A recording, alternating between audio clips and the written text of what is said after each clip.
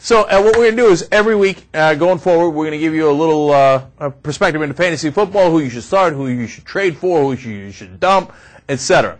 All right, uh, this week uh, I want to keep it kind of broad in the beginning and then get more specific as we go. I want to talk about teams, right? Now everybody's panicking with the Cowboys because Tony Romo's out.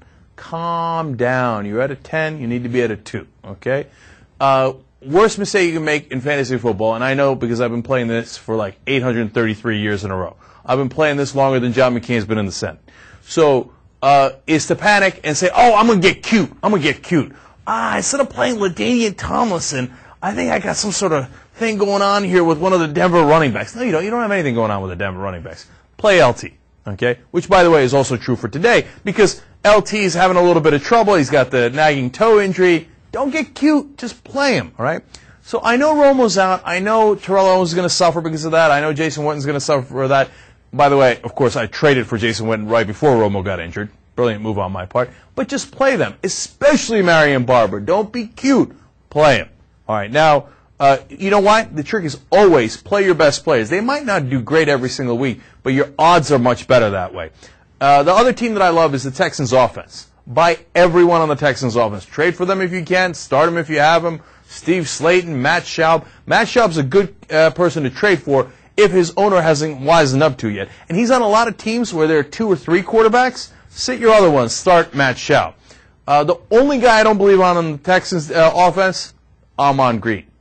A sucker in our league, who's actually not a sucker, a pretty good player, but I don't know why he did this. He just uh, picked up Ahman Green and dropped Ryan Torain. Ryan Torain is a Denver running back, so he could start at any moment. And he's the guy who's been injured this whole time. Perfect pickup opportunity. In fact, right after we're done with this, I'm going to go pick up Ryan Torain uh, in our league. Okay, Ahman Green, I guarantee you, gets hurt within the first three plays. I can't believe he made the made it through the last game. Now on to the Bengals. Drop everyone. Drop them all. Okay, trade for them if you can't. Trade them away if you can't. Chad Johnson, Housh, even though Housh is been great over the last couple of years. Carson Palmer's hurt, of course. The running backs, get rid of them all. They're all terrible. All right. Now, speaking of a guy you have to dump, even though he's been good for so many years, he's been so rock solid.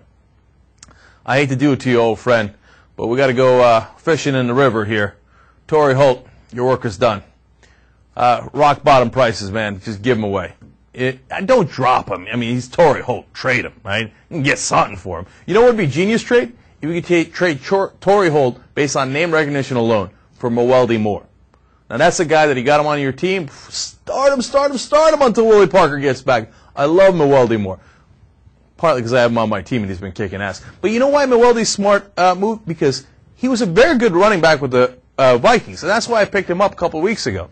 And I thought if you give him an opportunity, he's going to do well in a team like Pittsburgh that runs all the time. Of course, pick up Mewelde and start him. A couple of the pickup uh, opportunities for you. Antonio Bryant and uh, Tampa Bay finally doing well. I wouldn't bank on it, but it's worth a, a chance if you got a spot. Donnie Avery, uh, new rookie in St. Louis. He's a very good receiver, has a chance to break out there. And, uh, you know, as far as uh, starting, like I said, Schaub, Moore, Vincent Jackson, as long as Chris Chambers isn't back. If Chris Chambers is back, go back to sitting Vincent Jackson. And uh, here's a guy you should trade for, and I'll wrap it up with this one. Uh, Derrick Ward.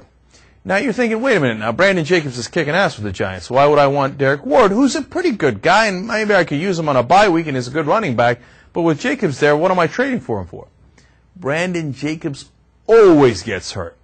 Okay, he will get nicked. He'll miss at least one, two, three uh, starts for the rest of the year, is my prediction.